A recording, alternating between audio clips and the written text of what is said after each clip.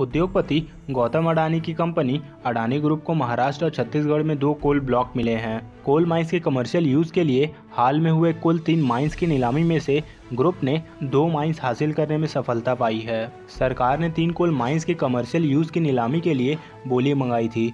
सोमवार को ही इस नीलामी में महाराष्ट्र की गोनकरी कोल माइंस के लिए अडानी ग्रुप सबसे बड़ी बिडर बनकर उभरी। दोस्तों आईटी की खबर के मुताबिक कंपनी ने इस कोल माइंस के बोली के बेस प्राइस से 9.5 परसेंट प्रीमियम पर बिड लगाई थी। महाराष्ट्र की इस माइंस को हासिल करने के लिए Sun Flag Iron and Steel भी दौड़ में शामिल थी, लेकिन अडानी ग्रुप की कंपनी की बिडिंग सफल रही।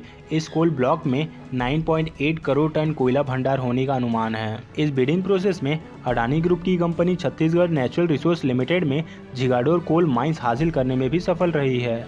इस कोल माइंस में अभी बहुत ही कम काम हुआ है और इसका कोल भंडार 25 करोड़ टन होने का अनुमान है। कमर्शियल यूज़ वाली कोल माइंस की नीलामी का ये दूसरा फ़ेज़ चल रहा है और ये 25 मार्च को शुरू हुआ था।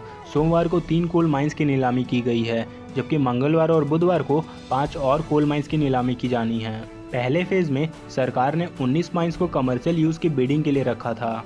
इन माइंस के हर साल 5.1 करोड़ टन के मैक्सिमम प्रोडक्शन से सरकार को 7000 करोड़ रुपए टैक्स मिलने का अनुमान है। तो दोस्तों, दो कोल ब्लॉक मिलने से अडानी पावर को काफ़ी ज़्यादा फ़ायदा होगा। तो दोस्तों, ये थे कुछ अपडेट अडानी ग्रुप को लेकर। इस वीडियो में फ़िलहाल इतना ही। मिलते हैं नेक्स्ट वीडियो में।